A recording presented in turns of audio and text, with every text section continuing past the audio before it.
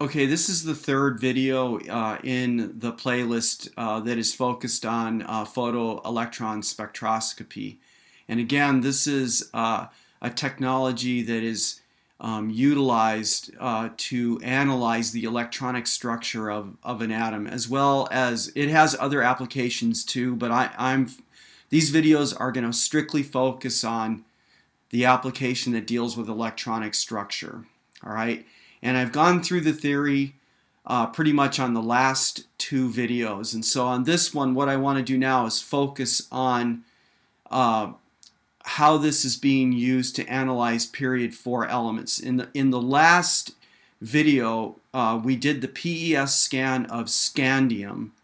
And uh, when we did that, we saw that what you um, actually see there for its electron configuration is that it's um, 4s PES peak um, is actually higher in potential energy than the the uh, 3D peak that has a single electron in it. So the 3D1 shell is actually lower in energy than the, than the 4s shell in scandium that has two electrons. And um, if you stop to think about this for a minute, more than likely your uh, AP Chem teacher or your university professor in general chemistry has probably already pointed out to you that when a, a period 4 transition element, transition metal, ionizes, that it ionizes preferentially out of the 4s subshell. And the PES is actually um, giving us a way of wrapping our minds around that. So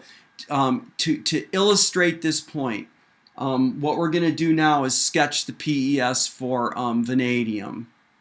Okay, and vanadium has 23 electrons. If we utilize the standard method for the electron configuration, which I have written here, then its configuration would be uh, 1s2, 2s2, 2p6, 3s2, 3p6, that's 18 electrons, and then we would have 4s2, that's 20, and so there will be three electrons in the 3D shell.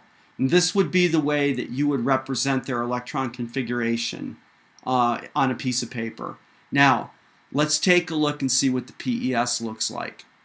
So again, I'm going to sketch the um, scan. On the vertical axis, I'm just going to label this as number of electrons. Um, the vertical axis will represent proportionately the numbers of electrons that, that up, appear in the peaks. And then on the horizontal uh, axis, we're going to have ionization energy. And um, the viewer needs to remember that a couple things, I guess. Ionization energy is the energy required to remove an electron from a particular uh, location on the atom. And secondly, it's equal in magnitude but opposite in sign to the uh, potential energy of that electron.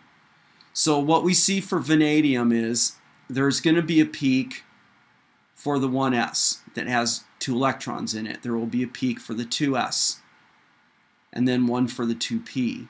And there's six electrons in there. And then we'll have uh, a peak for the 3s2, a peak for the 3p6, which it, my artwork is not perfect. These two peaks are, are, are supposed to be the same. All right.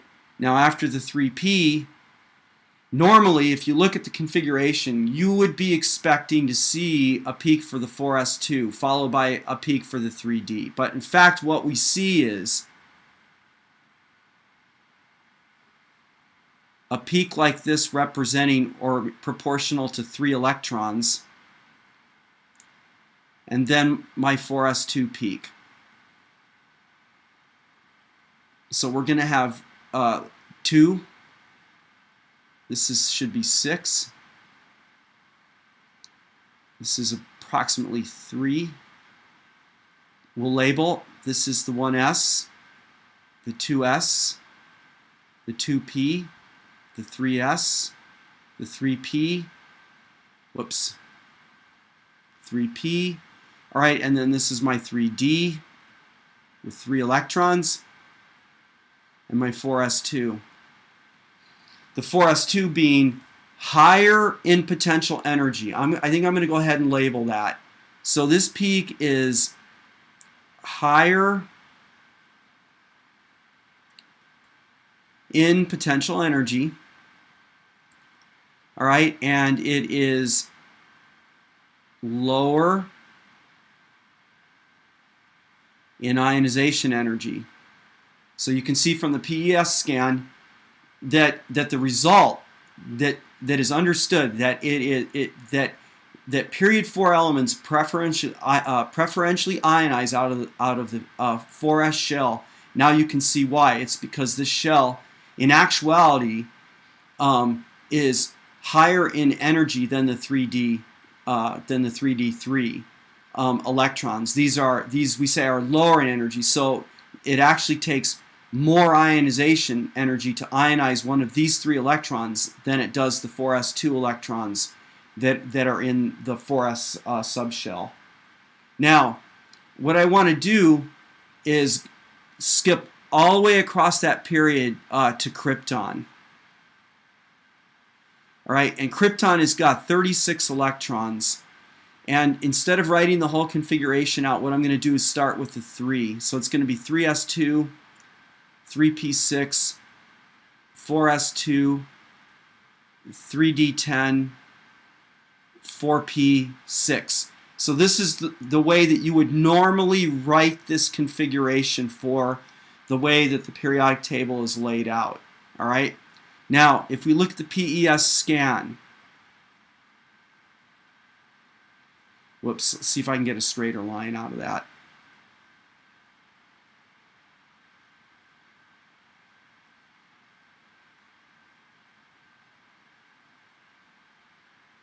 Okay, so again, this is number of electrons.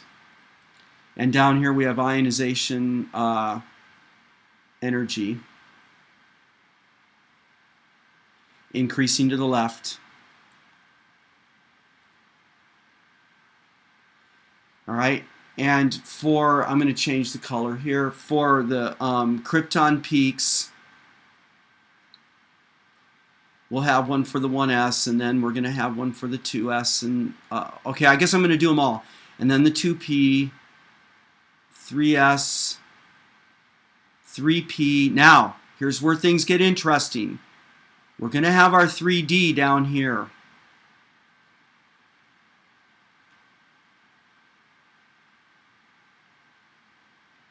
All right, and then out here we're going to have a peak Whoops. We need to shorten that one up a little bit. Uh, yeah, right about in there. So we'll have a peak here that's going to be equivalent to these other P's. So this is, these peaks are 2.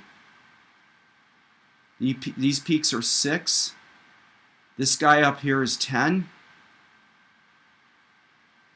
So going through and labeling, all right, this is going to be my 1S, my 2S, my 2P, my 3S, my 3P, my 3D.